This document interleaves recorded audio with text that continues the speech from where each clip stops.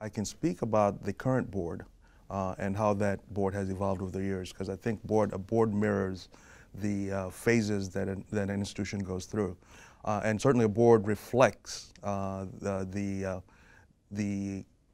uh, the interests and the priorities of the university president. and so to that extent then, I certainly think that we want to ensure that whoever's coming in, whoever the next president will be, will have an opportunity to look at that and be part of the process in shaping the board for the future. Because uh, once you have an understanding of what strategic plan is, then you want to, we want to ensure that you have the right pieces in place, uh, right board members in place with the right skill sets, uh, right, right experiences that can help you move forward uh, to execute on the strategic plan.